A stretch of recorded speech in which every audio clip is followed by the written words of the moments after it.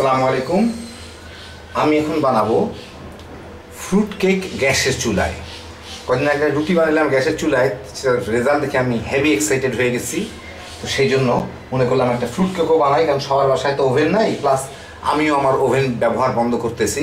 কারণ গ্যাস হচ্ছে ফ্রি আর ওভেনে এত পয়সা খরচ করেও লাভ নাই, এবং গ্যাসে দেখলাম আমি ওভেনের থেকে রেজাল্ট ভালো হয় প্লাস সময়ও কম লাগে। আমারটা যেটা হইল আর কি। জানি না, কিন্তু আমার এখন গ্যাসই খুব ফেভারিট হয়ে গেছে। হবে আমি ওই জন্য এক কাপ ময়দা নিব, নিয়ে তার সাথে আমি এক চা চামচ বেকিং পাউডার দিব। এক মানে ড্রাই ইনগ্রিডিয়েন্টসগুলো একবারে মিশাই ফেলি।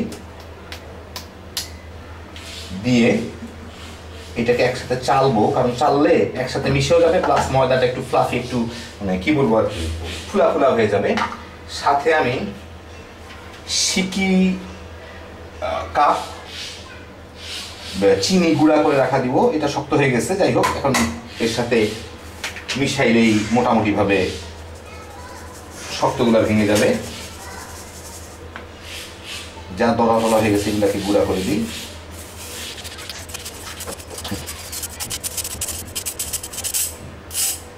বাকিগুলোটুকু মিশে যাবে।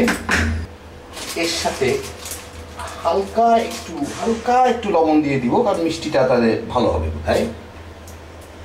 এটাকে একটু ভালো মতো মিশাই নি তাই শুকনো থাকা অবস্থায়। আচ্ছা এখানে দিতে হবে ঘরের টেম্পারেচারে রাখা প্রায় দুই তিন চামচ বাটার। তো আমি কি বলব, প্রায় দিলাম, প্রায় এক দেড় টেবিল চামচ, দেড় টেবিল চামচের মতো বাটার। এটাও একটু মিলাই দিতে হবে। যত পারি এতেই মিলাই দিই।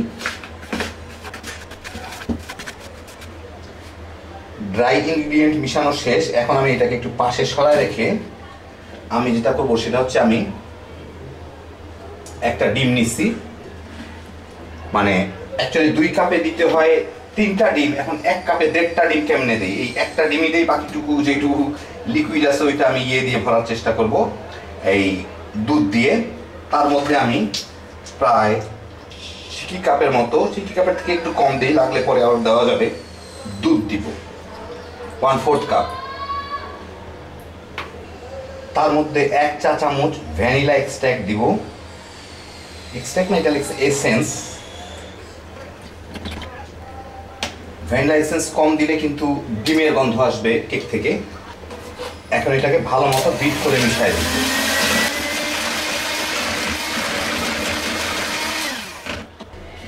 এখন এর সাথে আমি এই মিশ্রণটাকে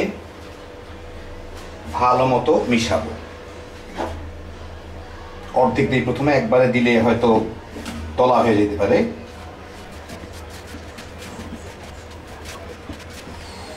এবার বাকিটুকুও দিয়ে দিই। যদি না হয় প্রয়োজন পড়ে, আমি তাহলে দুধ মিশাবো, যদি কম হয় আর কি।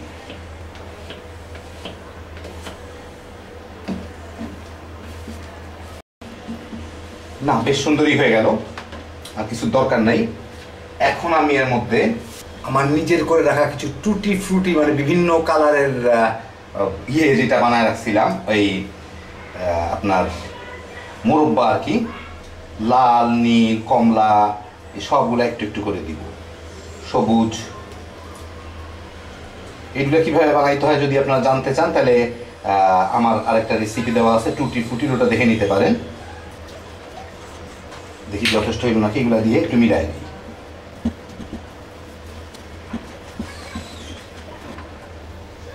জমাট বেঁধে থাকলে ছড়ায় দিই। সব দিকে যাতে সমানভাবে হয়।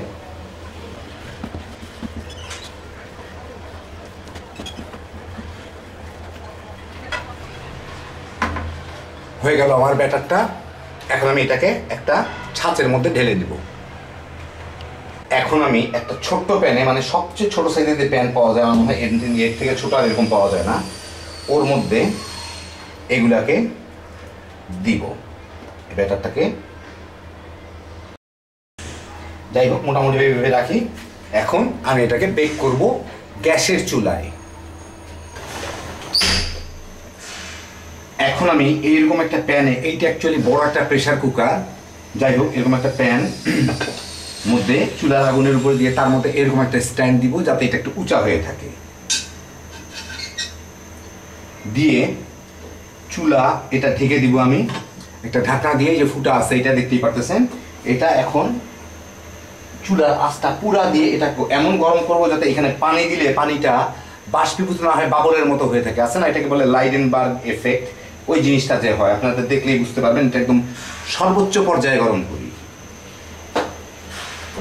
পাঁচ মিনিট পরে ফুল ফ্লেমে রাখার পরে যখন এরকম হবে, এই যে দেখেন আমি পানি দিচ্ছি একটা ফোঁটা, এই যে দেখেন, পানিটা বাষ্পীভূত হবে না, এই যে বলের মতো ঘুরতে থাকবে। বুঝতে- বুঝতেই বুঝতে- বুঝতেই পারতেছেন জিনিসটা? এটাকেই বলে লাইডেনবার্গ এফেক্ট, এই যে দেখেন। জাস্ট বলের মতো করে থাকবে। প্রচণ্ড গরম হলে যেটা হয়, তখন আমি মুখটা খুলে এই যে এইটাকে ঠিক মাঝখানে বসায়, আবার মুখটা ঢেকে দিব এবং ঠিক পাঁচ মিনিট আমি হাই হিটে রাখব, তারপরে আমি হিটটা একদম লোতে নিয়ে চলে যাবে, একদমই লোতে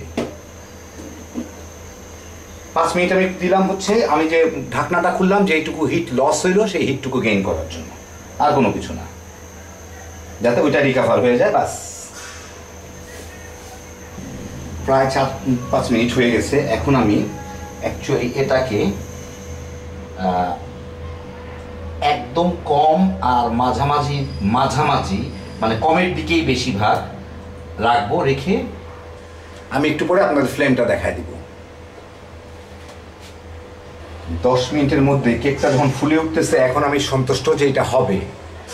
কারণ এটা আমি প্রথম কেক বানাইলাম, এর আগে আমি রুটি বানাইছিলাম অ্যাকচুয়ালি এতে গ্যাসের চুলায়। এবং বানানোর পর আমি খুবই ইমপ্রেস গ্যাসের চুলায় বানানোর ব্যাপারে। প্রথম কথা হচ্ছে খরচ কম খরচ কম মানে খরচ নেই, আমার তো পেট চুক্তি মাস চুক্তি, পেট চুক্তি যেটাকে বলে আর কি, গ্যাসের পয়সা দিতে হয়। আর জিনিসটা খুব সুন্দর হয়, ওভেনের থেকেও, এবং দ্রুত হয়। যাই হোক, দেখি এখন কি অবস্থা। যথেষ্ট ফুলে গেছে, এবং একটু ফেটে যাচ্ছে। আপনারা একটু ক্লোজ আপ দিয়ে দেখেন, বোঝা যায় কি না এরকম হচ্ছে, আমার আশা করি জিনিসটা খুব সুন্দর হবে, ইনশাআল্লাহ। এখন আপনাদেরকে আমি চুলার আঁচটা দেখাই। আপনারা বুঝতে পারতেছেন কি না জানি না। চুলার আঁচটা এইরকম থাকবে। কোনো মতে নিভু নিভুর থেকে একটু বেশি দিয়ে রাখছি আমি। কারণ আমার এখন আমি শেষেরটা দেখাই। আমার সবচেয়ে কম হচ্ছে এই। এটা প্রায় সবচেয়ে কমের মতোই লাগতেছে দেখতে। সেখান থেকে একটু হালকা বেশি, এতটুকু, এইটুকু, এই এইটুকুই আর কি। এই এই থাকবে চুলার আঁচ। চুলার আঁচটা দেখে রাখলে আপনারা কেউ যদি বানাইতে যান, তাহলে সুবিধা হবে। কারণ সবার চুলা তো একরকমের না, সবার আঁচও একরকমের না। প্রায় চল্লিশ মিনিট পার হয়েছে এখন আমি অ্যাকচুয়ালি উপরটা বেশ একটু হালকা বাদামি হয়ে গেছে। আমি একটা কাঠি ঢুকায় মাঝখানটা দেখি। হ্যাঁ কাঠি পরিষ্কার বাইরে গেছে। অ্যাকচুয়ালি আমি এখন চুলাটা বন্ধ করে দিব। কারণ এটা আমার মনে হয় না যে ইয়ের মতো পুড়বে। মানে উপরটা বাদামি হবে। কারণ আমি এর আগে রুটি করছিলাম, উপরে ডিম ব্রাশ করে দিয়েছিলাম এটা তো ডিম টিম ব্রাশ হয় নাই। তো আমার মনে হয় না যে উপরটা ওইভাবে পুড়বে। কারণ এর হিট তো কেবলমাত্র নিচ দিক থেকে উঠতেছে। তো যাই হোক, মনে হচ্ছে আমার খুবই ভালো হবে গন্ধ পুরা ঘরটা ভরে গেছে। ঠান্ডা হোক, কেটে দেখি। এটা আমার লাগল পঁয়তাল্লিশ মিনিট। তো মোটামুটি কেকটা কিছুটা ঠান্ডা হয়েছে এখন আমি বাইর করে নিই। এটা এমনি বাইর হয়ে যাবে নিজে। দেখেন কি সুন্দর বেশ উপরটা না হইলেও চতুর্দিকটা বেশ ভালোই বাদামি হয়েছে এটা উঠাই ফেলি তলার কাগজটা। এটা খুব সুন্দরই উঠে আসতেছে মানে এতেও লাগে নাই। এই হচ্ছে নিচের দিকটা। এই হচ্ছে নিচের দিকটা, এই হচ্ছে পাশগুলা, আর উপরেরটা অত বাদামি হয় নাই, বাদামি না হইলেও কিছু আসে যায় না। তো মনে হয় এখন আমি একটু কেটে দেখি কি অবস্থা।